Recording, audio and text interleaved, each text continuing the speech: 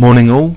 We had our second decisive game in the World Championship candidates uh, being played at the moment in 2011. Mamedyarov versus Gelfand, Boris Gelfand.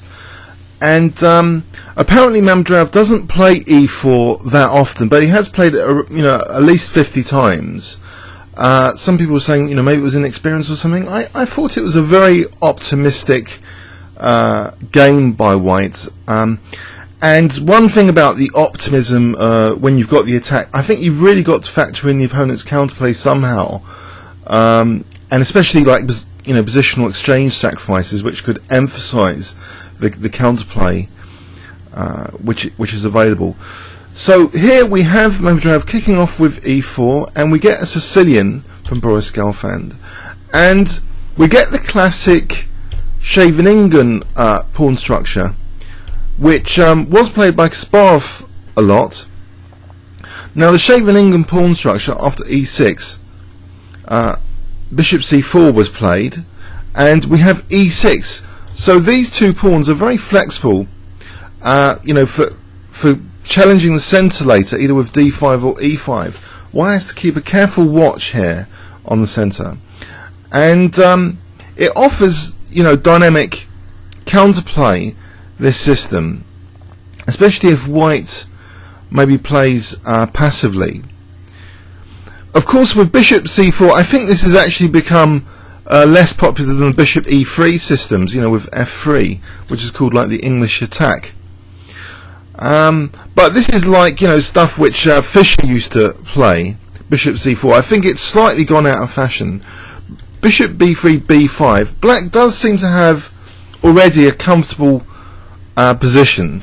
The bishop is naturally posted at b7, putting pressure on e4, and also, you know, b4 has to be watched out for. White castles here, though. At the moment, uh, trying to win a pawn is theoretically dangerous. Uh, let's let's check that out. Actually, let's let's stick on um, an engine here just to answer that question concretely about b4 in case anyone's wondering. So b4, trying to nab a pawn. Apparently knight a4 is quite good, or knight ce2 even. So if takes, knight g3. Now there's there is pressure on the black position, um, and I presume enough compensation here. If if this move bishop e7, then queen g4. So black's under fire, and if, if say castle's here, then white will be winning the exchange. So it will be kind of dangerous to do this, pawn nabbing, without completing development. There's a lot of pawn moves here. So make another one just to win the e4 pawn. I think knight a4, to be honest, was something which I thought would have been um, good as well to maybe exploit b6. But the knight is decentralized there, so maybe, you know, black's um, slightly better than that other continuation. Uh, with this poor piece here, if it's not really doing anything, unless c4 here, th this looks pretty strong to rip open this, the position. Okay. Anyway, let's get back to the game.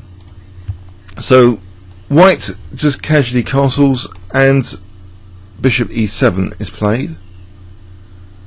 Now queen f3 which signals White's intentions really to lean over the king side and try and get some attacking opportunities. And it's rather direct uh, play, amusingly so. And we have to remember, I think, um, Steinitz. The, the key Steinitz, you know, principle, which really encouraged and promoted the notion of positional chess, was that if you if you were like a caveman and going for attacks, the attacks were not going to succeed necessarily if you didn't have any advantages, if you didn't collect small positional advantages. And, you know, Steinitz was the one that really transformed the game. But here, um, we do get optimistic attacking play from White, which doesn't seem to, um, it kind of disregards that, that premise that you really need uh, an advantage.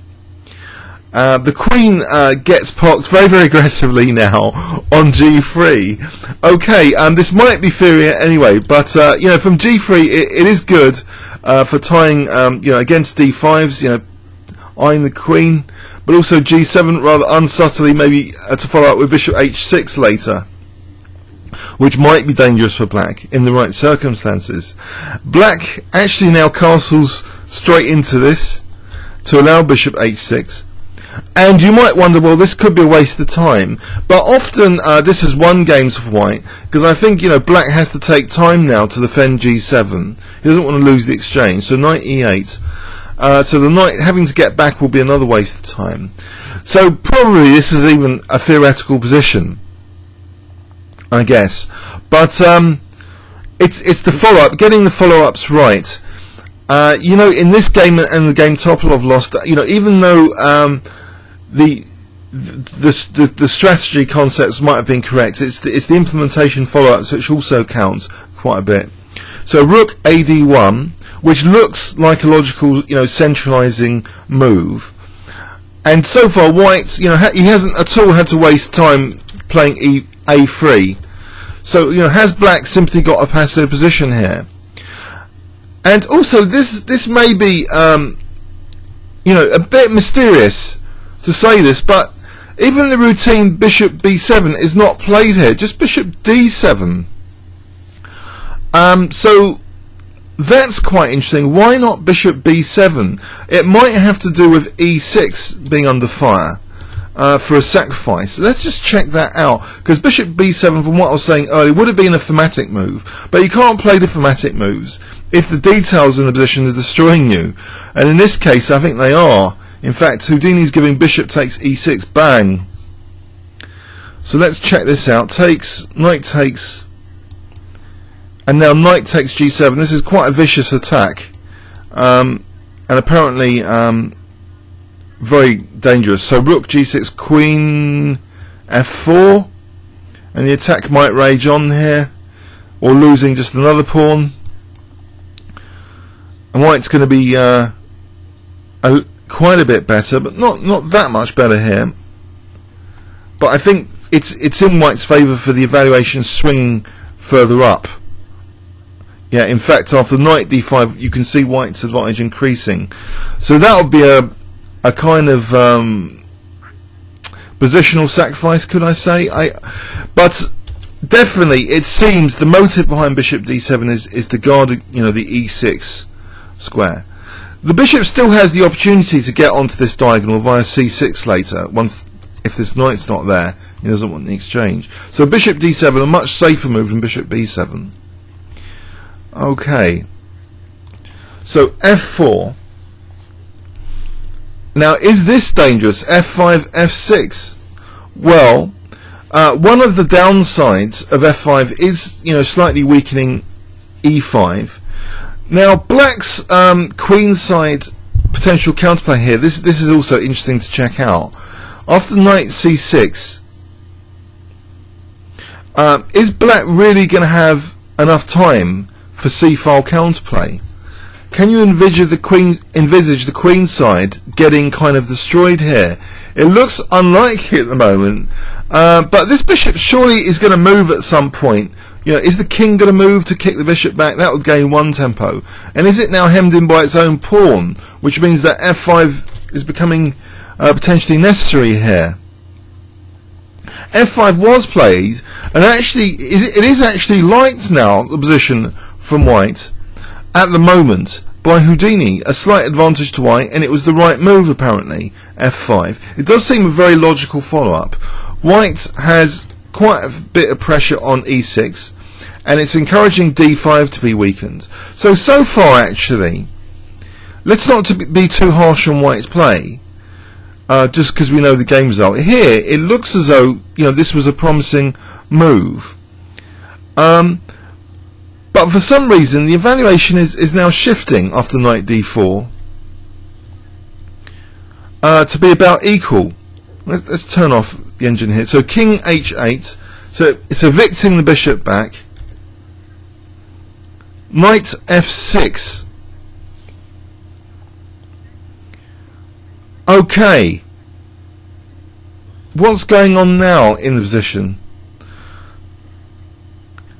Where is White's attack? Is this f5 a bit too committal? E5 is slightly weakened, but it's not going to be a knight quickly coming to e5 here, unless the bishop goes there and then knight d7 to e5. That's one point. Second point, black can now qu quickly get a battery if he wants, and still b4 might be a threat in the future. Third point, you know, d5 and e5. Well, e5 doesn't look too tempting because it'd be weakening the d5 square. But d5, uh, once the queen is protected, might be useful to try and undermine the centre and make f5 look like a liability.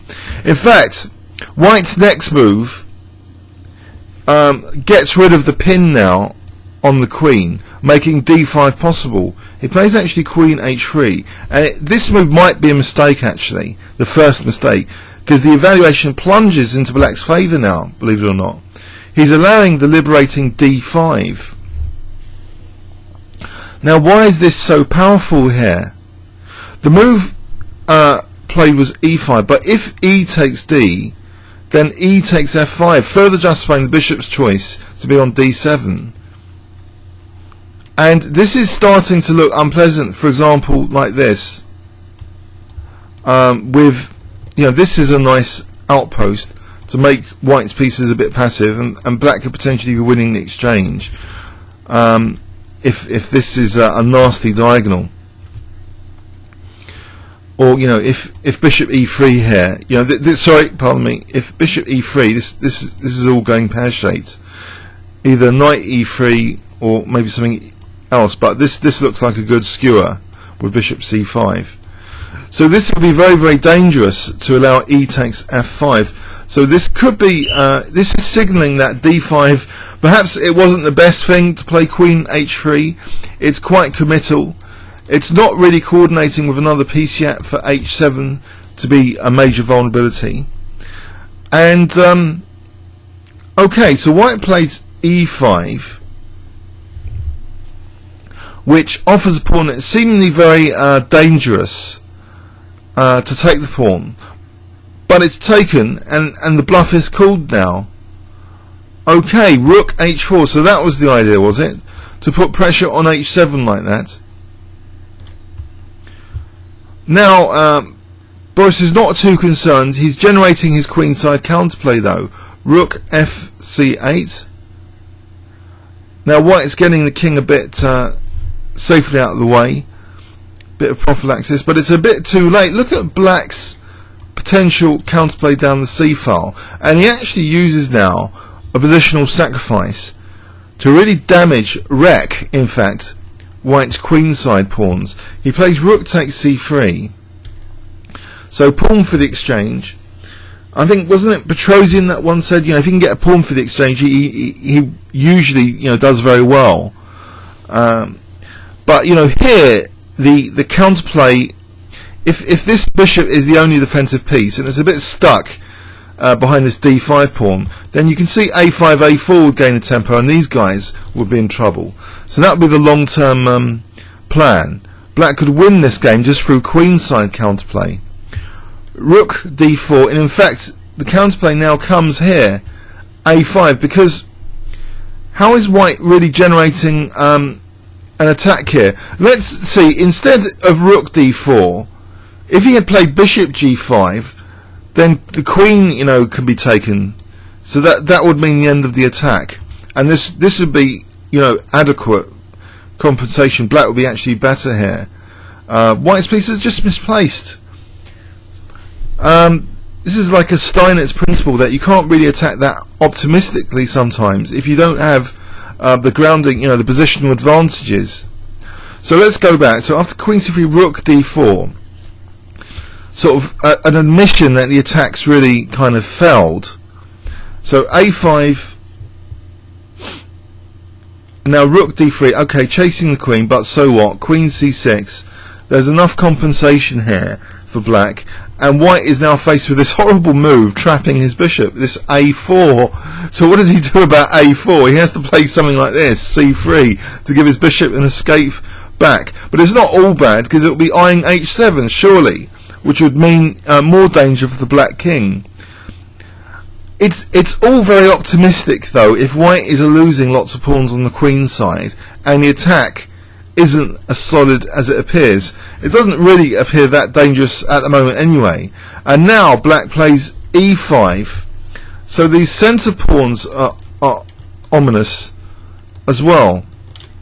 Bishop g5, as if you know bishop f6 is going to be dangerous for h7. But now the queenside attack rages on. You know, there's a pin now on the bishop. This bishop's loose, and it's used b4. White is just falling to bits on the queen side. It's like one of those horrible games you might have played once if you ever played a computer, and they just there's no attack, and you're just getting munched to bits, and you can't really justify uh, losing all the material. it's a bit like that. Queen h4 Oh, the rook's going to have another go now. It just came, you know, like this, and it's going to have another go with rook h3. okay, his pawn is really worried by this? No, he just munches another pawn. So rook h3, and now the the cheeky thing is, uh, to defend this attack, we should really flip the board. Sorry about that. We should really flip the boards here and look from Black's point of view, because I'd like to quiz you guys. What would you play here if you're faced uh, with this attack? So, okay, disregard that your opponent's over 2700. He's he's just he's pointed his bits at your king. So h7 is slightly vulnerable. There's a threat of bishop f6 and queen h7 mating. Apart from that, there's nothing much to worry about because you've collected a lot of pawns on the queen side. So what is the move you would play here? this is a great move, a star move, which really uh, demonstrates uh, Black's control of the position and not being worried. It's a very simple move once you see it. So if I give you 10 seconds, have a go to try and find it. Starting from now.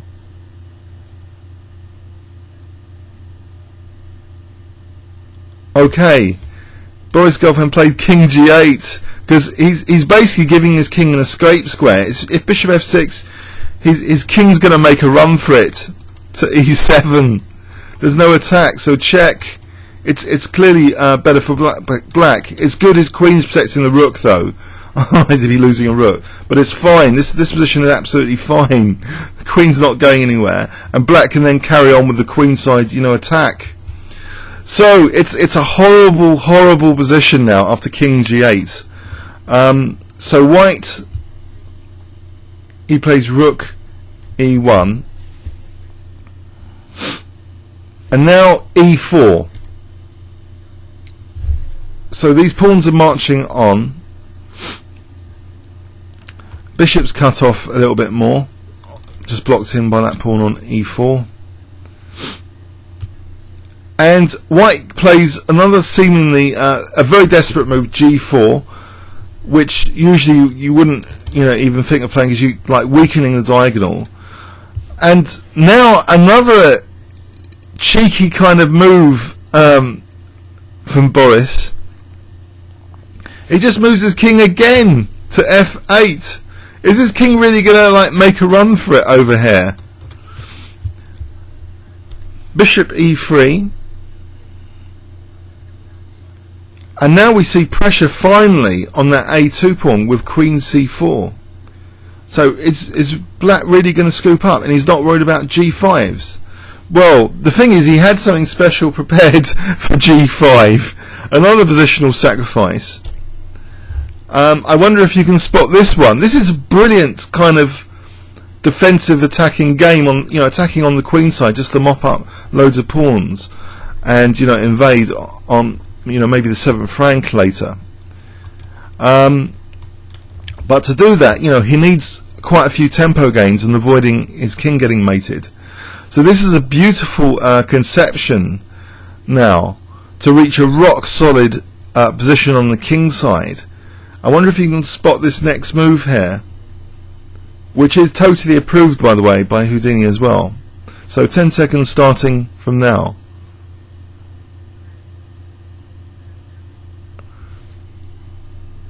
Okay, just bishop takes f5, offering a whole piece. Because if takes, well, this is what happened. Uh, this wasn't a very pretty position for white. Because these bishops are dead solid on the king side, and black is prepared to carry on, you know, munching or getting his rook to the seventh. But um, say, say, was that really the only option? You might ask. Could the knight have retreated? If the knight retreats, it might justify actually White's at- attacking play. In fact, Queen h7, White's almost equalising uh, here, apparently. The king cannot uh, move anymore, it's tied down to g8. And in fact, um, this this is getting quite tricky for black. If f6, rook g3, you know, th- there's there's quite serious threats now to deal with.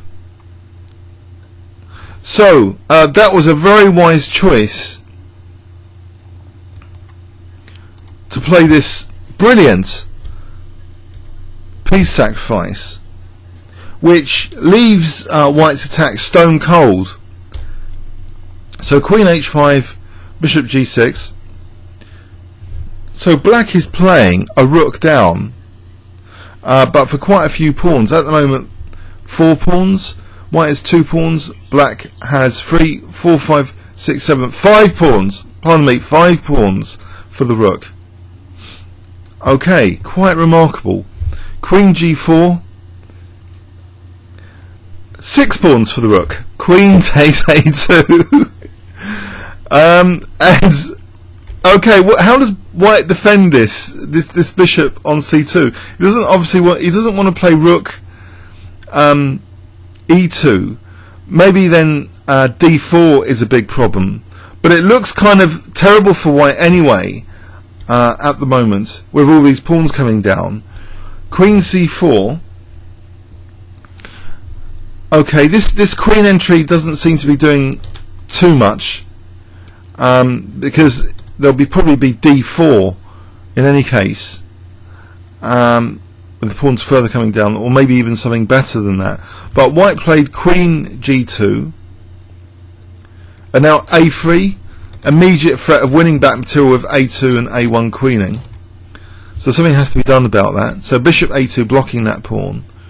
Queen c6, and now there's a threat of d4. This this pawn's solid enough with that bishop, and that you have these like a armada of pawns coming down. Rook g3, now, instead of using um, d4, which which might be good as well, rook b8 was played, and funny enough, white resigned here.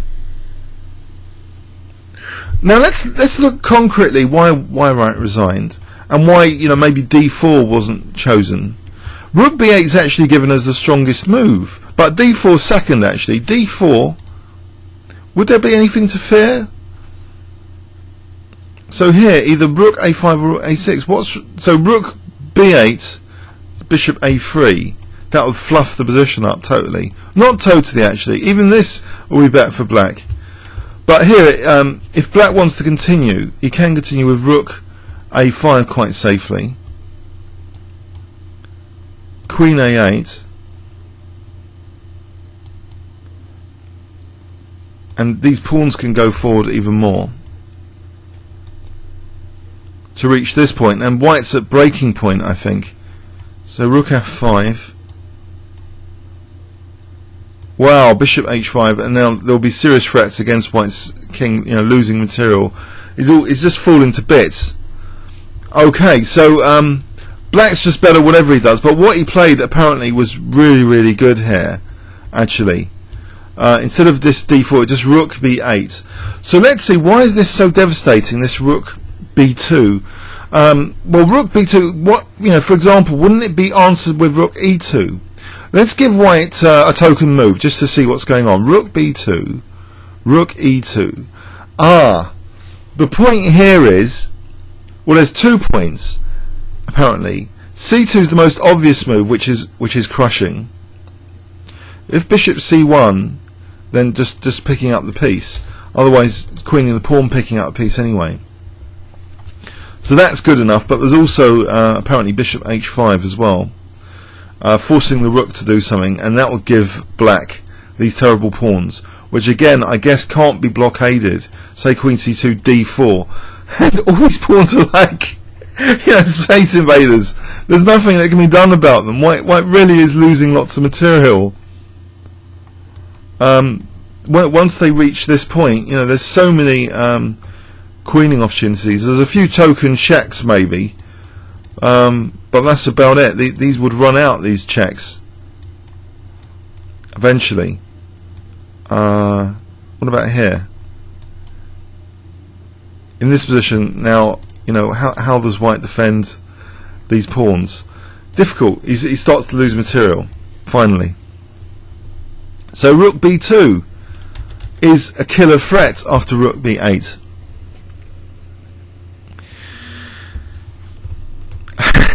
it's just an amazing game. Say Bishop B1, Rook B2, Bishop C2. I think A2 is strong, that is strong, and also D4 is strong. Say White desperately tries to do something uh, like this. Again, you know, the, these pawns are just too strong. So White's not given much of a chance now in this kind of continuation. These pawns are just winning material again. So it just shows the devastation actually also of a queenside attack. More subtle. Just the power of the pawns uh, being liberated and um, the pass pawn potential. But a whole rook down to do this and causing white to resign um, after this rook b8 is quite an exciting game. I would say, in my opinion, this is very exciting chess. Let's review it again. Second pass through. So Sicilian defence, the old Scheveningen variation, first with a6 but e6. So bishop c4, um, is that the? Uh, I'm not going to name it. I, it's. Uh, I, I think it's slightly out of fashion in this system anyway. So bishop e7, queen f3, very direct kind of assault on the black king, perhaps too direct. Uh, but apparently white was was doing well, and this has all been played before, of course. But bishop d7 is the right move, it seems, not to allow knight uh, sorry, knight, uh, bishop e6 rather, not knight e6. Bishop e6, I think, is is the strongest. If bishop b7, so bishop d7. Now there's classic f4, f5, um, which would have been okay, I think, but the follow-up wasn't uh, quite right. So king h8 evicting the bishop knight f6 and now this move queen h3 so white really lost the position now after allowing this liberating d5 let's just check this position once more. So what were the other moves here that white could have played to, to keep the balance? A3 even here? Perhaps perhaps. But black seems to be kind of comfortable now anyway Move like a5 is facilitated with that bishop on d7. If what, why would white be repeating rook moves? Okay, let's just play another move. Queen f3, queen b7. Takes, takes. Let's say king h1, then b4. It seems, well, black's queenside counterplay is naturally evolving here, and he's probably winning almost the e4 pawn. May, maybe not quite here. No, no, knight e4 is possible, but is also queen e4 possible? I think it is, yeah. So this this would be just classic counterplay generation on the queen side. So I don't know. White does seem to be going downhill after this f4, f5, which looked a little bit promising. But especially now with this um, queen h3, it's a very committal kind of path especially after allowing this this d5. So d5 d5 positionally, it's it's hemming in uh, this bishop. Um, it's preparing. Okay, it's it seems to give White what what he wanted. You know, this this kind of primitive kind of attack, but. Uh, you know this clever evacuation because the king here it's not clear you know it's going to escape from such an attack un- until the subtle moves like king g8 are played. So he takes on e5, and the rook, you know, is basically preparing the the king's escape. Really, that rook move is vacating f8. Very important key move here, as well as potentially, you know, in, uh, working for the queenside initiative. And the powerful exchange sack now, you know, was was this logical and necessary? I would like to do a, a big video on it, on positional sacrifices. Actually, um, so this this is very interesting to consider what it actually uh, does. Could could Black have just played um, more s- safely? Would this be more dangerous to play b4? You know, maybe there's knights, you know, coming round to g6 one day. Let's let's just check that out as well. Could b4 have been played? Well, apparently, actually, this is, this is not good. Bishop d4. And if the queen moves here, I think this could be a total disaster on the cards. Well, bishop f6 and then mating. yes, that's pretty clear cut. So there's bishop d4 is a major threat here. In fact, so rook takes c3 technically made bishop d4 impossible, of course, because of the queen. So white had to recapture. And now bishop d4 again, technically impossible because of queen h3. So the exchange sack, as well as getting a pawn immediately, may, maybe it was designed um, against this bishop d4 as well.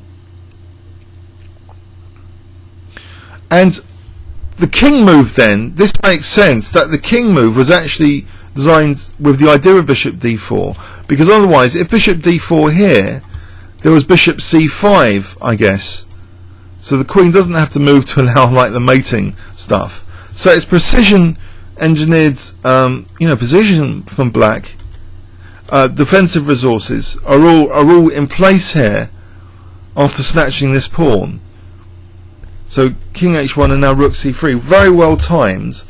Snuffing out white's key threat, bishop d4 basically, netting some material on the queen side.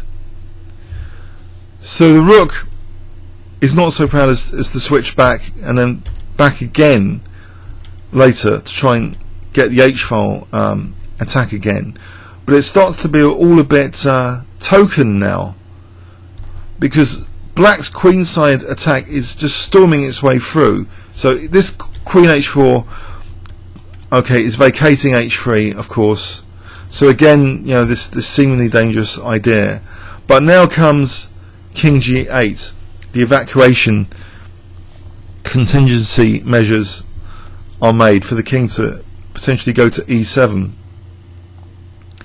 What else does white do here? There's, there's not, there aren't too many ways of, of carrying on the attack. Um, so rook e1, e4.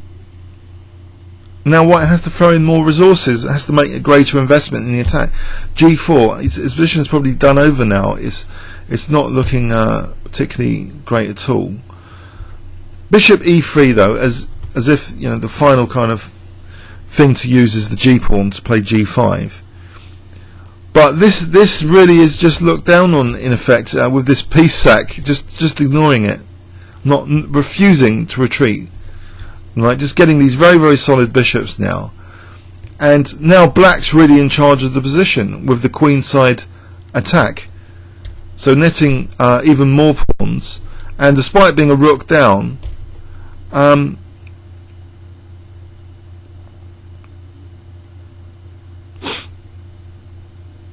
this this wasn't played, was it? Bishop a2. Oh, it was played. Sorry, bishop a2, queen c6 after rook g3, just rook b8, and, and white resigned. Quite staggering impression from this game. For the attack to succeed, you know, you you need to like uh, have the advantage. That's what the classical school kind of taught us. That that is what spelled the end of the Romantic era. But here, you know, White wasn't like sacrificing like crazy. Um, but just the queenside initiative. And the the one time when he wanted that bishop d4, it was totally snuffed out with the initial um, positional sack, rook takes c3. And then later, when he tried to use his last resources in the position of the g pawn, that attack was just refuted by not retreating knight and sacrificing a whole piece. So really, fantastically played by Boris Gelfand, I've, I, in my opinion. Comments or questions on YouTube? Thanks so much.